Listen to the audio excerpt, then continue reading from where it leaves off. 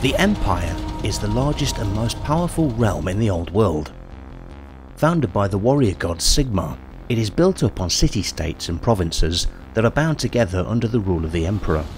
However, it faces dire circumstances. It is a realm in constant turmoil, beset by all sides by the ferocious and the unholy, and to survive, the Empire is constantly at war. I am Karl Franz, and I was born into this world, just like you. A world of unceasing war and endless terrors. But with a nation of men at its heart, a bastion of hope and courage. The Empire.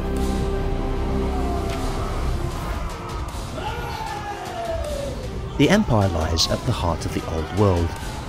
Truly, it is a land of ever-present danger where death and war are never too far away. Yet despite the bloodshed, this great nation endures still. Its cities and military strongholds forming bulwarks against the sea of savagery.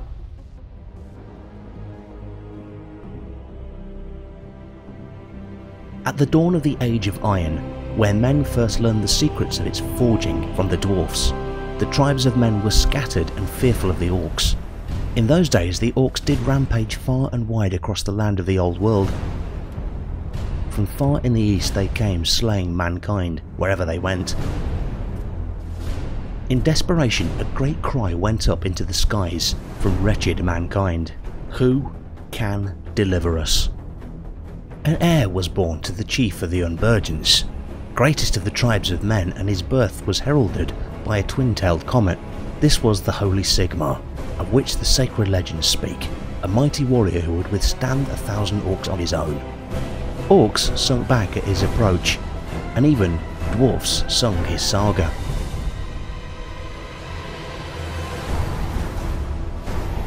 The Empire's very birth was forged in battle. The legendary warrior Sigmar Heldenhammer united the primitive tribes of humans in order to drive off the hordes of orcs and goblins in the terrible battle of Blackfire Pass, which was the culmination of Sigmar's campaign to cleanse the lands of the empire of orcs and goblins. Songs say that half of the greenskins of the World's Edge Mountains were slain that day. It is also said that there has never been a greater concentration of crows in all the world gathered to feast on the stinking and unburied corpses of the greenskins at Blackfire Pass. So many greenskins died on that battle that it would be over a thousand years before the orcs and goblins again raised such an army, even with their progenitor's reproduction rates.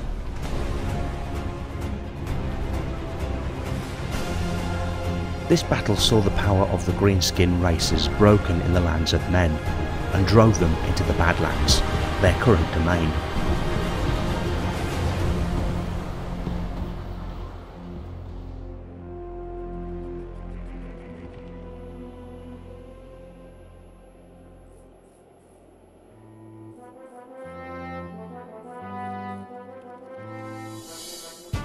After the Battle of Blackfire Pass, the humans returned to their lands, but not to their old ways. All the tribal chiefs recognised that humanity was safer united than divided, and they knew that only one among them could truly make that unity a reality. Thus, at Reikdorf, one year after the Battle of Blackfire Pass, Sigmar was proclaimed the Emperor of Man before the assembled representatives of the human tribes and even dwarfs recognised him as a worthy ally.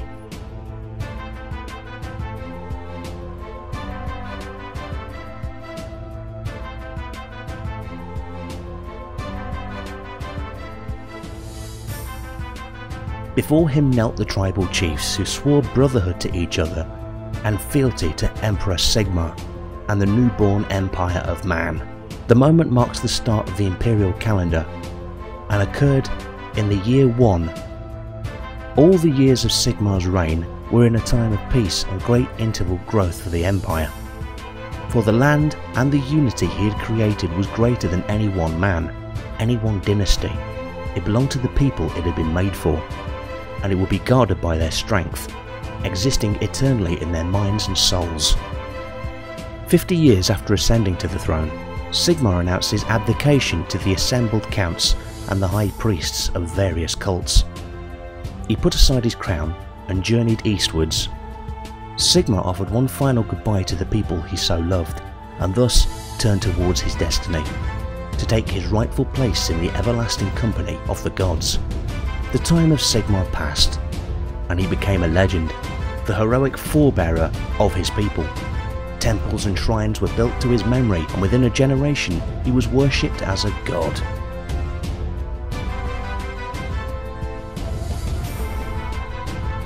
The Elector Counts, who are originally the tribal chieftains that aided Sigmar in his many wars against the Greenskins, are their rulers of their own provinces.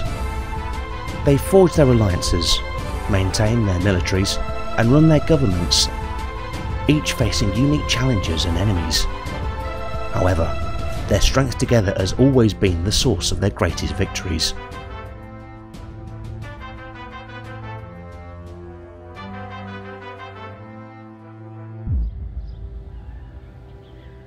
In this episode we are going to visit some places of interest within the vast lands of the Empire. First we have Altdorf in Reikland, the capital of the Empire. The richest and most powerful province whose elector, Karl Franz, is also the current emperor. Altdorf is home to the colleges of magic and all manner of arts and sciences flourish and is second to none in its splendour. The city of Middenheim, in Middenland, is built upon a towering crag rising up of the Great Forest. It is an impregnable fortress and is the city of the White Wolf. In this place, during the end times, numerous armies fought in a cataclysmic battle that would decide the fate of the Warhammer world.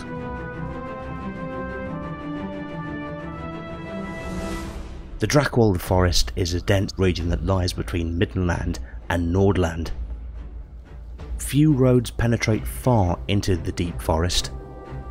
So thick is the forest canopy that a traveller could walk for weeks without seeing the sun. In the darkest places are found the totems and encampments of the beastmen, other foul creatures and even forgotten secrets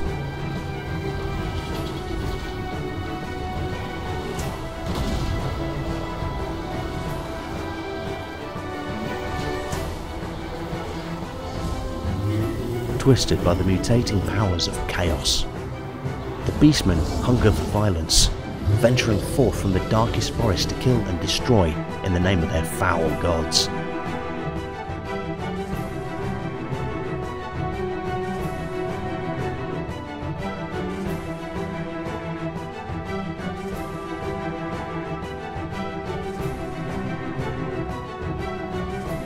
Ostland, snowbound and windswept, marches with Kislev and is the bastion of the Empire against Orc and Chaos invasions alike.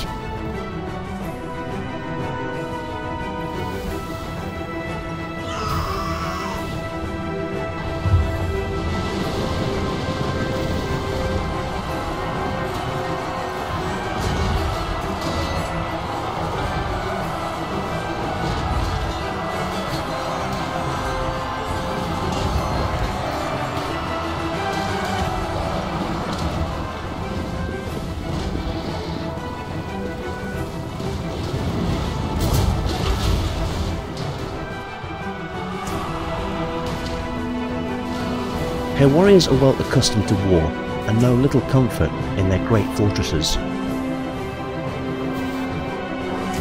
Nuln is the Empire's second largest city and it sits at the heart of the Old World's southern trade routes. Here lies the Imperial Artillery School and it trains men in the art of black powder weaponry.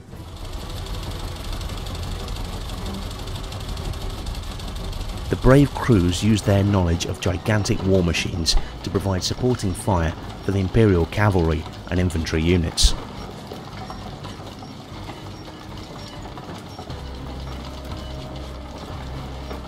Lastly, there is the cursed land of Sylvania, the most infamous of the provinces. Travellers are warned to keep their distance from this cursed soil, its ruined castles and mansions, it was here that the dreaded vampire counts rose hundreds of years ago. These aristocrats of the night sent their hordes of zombies and skeletons to ravage the lands between the sea and the world's edge mountains.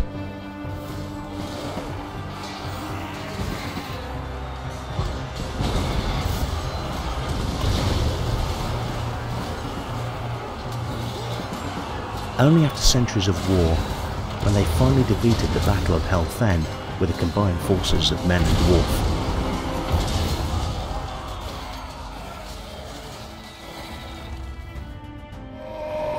The armies of the Empire are professional, well disciplined, and led by some of the finest generals in history.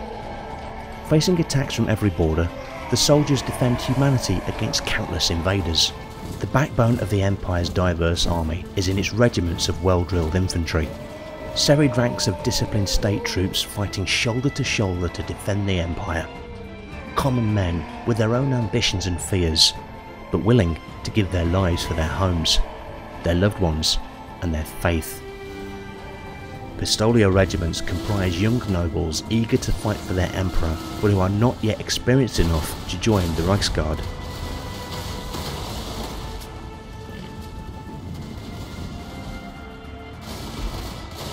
They are known for their recklessness and hunger for victory.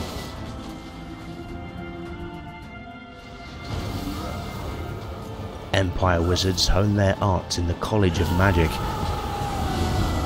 They are able to harness the power of the gods to cast deadly spells across the battlefield.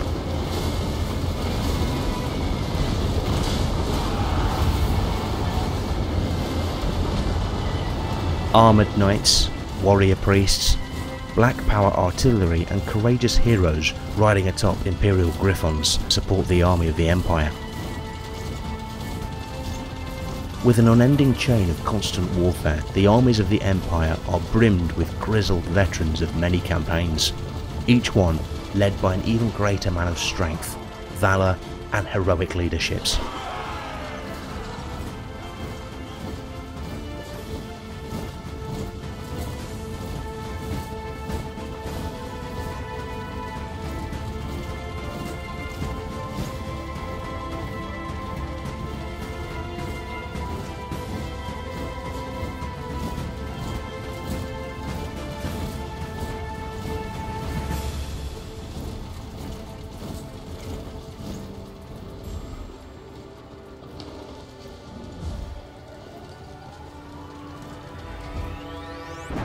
In the imperial year 2302, when the empire was in the middle of a civil war, the largest chaos incursion since ancient times erupted, threatening to conquer the old world.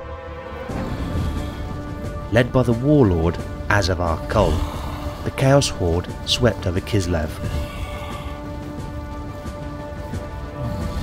Magnus, a noble of the Empire, travelled across the lands, delivering great speeches condemning the invaders and restating the Empire's duty to oppose the evil surging from the north. Uniting the people under a common cause, he marched north, gathering more and more warriors with each place he visited. Magnus assembled the largest army in Imperial history, splitting it between infantry and cavalry. Flagellants marched next to the mercenaries and state troops of all the Elector counts. Hedge wizards advanced alongside ordinary citizens who hated chaos the force marched north to Kislev to meet the Chaos Legions, who were opposed only by the remnants of the Kislevite armies and the small dwarf force. What followed was a fierce battle.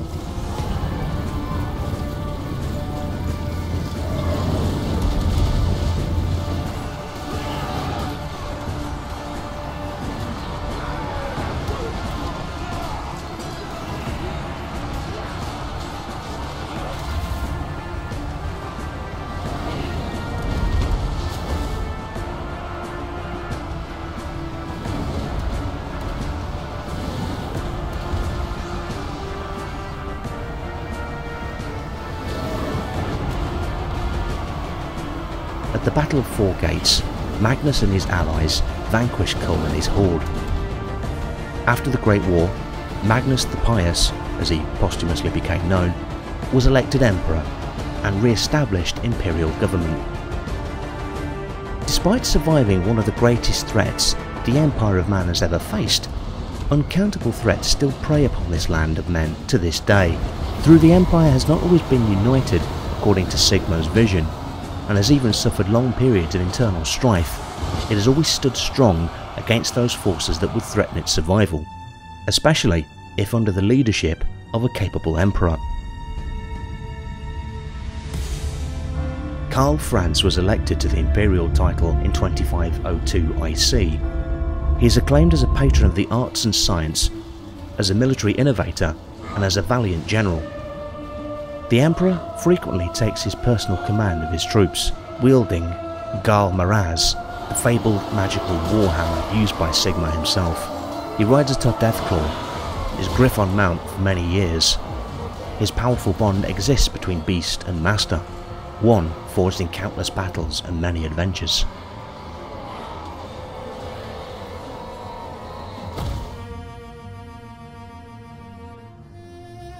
Thanks to his tireless efforts and on behalf of its people, the Empire has flourished during his reign like never before.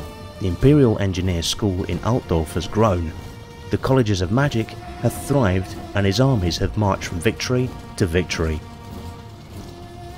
Now the year is 2522, and it is the reign of Emperor Karl Franz.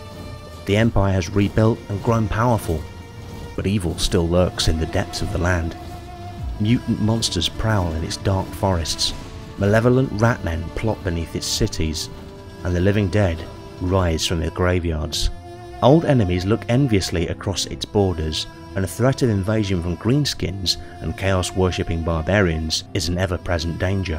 Whatever foul form this enemy takes, and from whichever direction the strike comes, the doom of the realm seemingly draws near. The armies of the Empire must hold the line against these unrelenting dangers. They must not waver and cannot fail, for if the Empire falls, the civilized world will be drowned in a tide of blood and death. Only through the actions of its valiant heroes has it repelled the numerous invasions brought against it. Only through the faith and the bold deeds of men our beloved empire endures.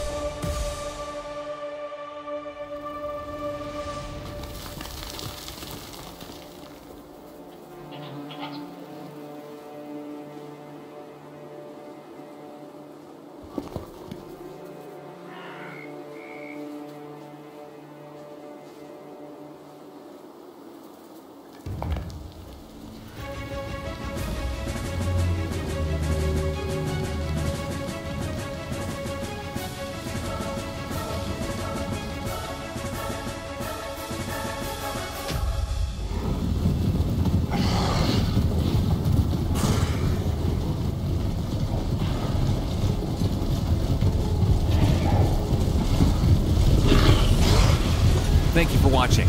On this channel, we're putting together fan-made cinematic episodes featuring historical and fantasy battles based on the settings from the Total War series and, of course, good old World of Warhammer. If you enjoyed this video, subscribe and hit the notification button to be the first to watch the next battle.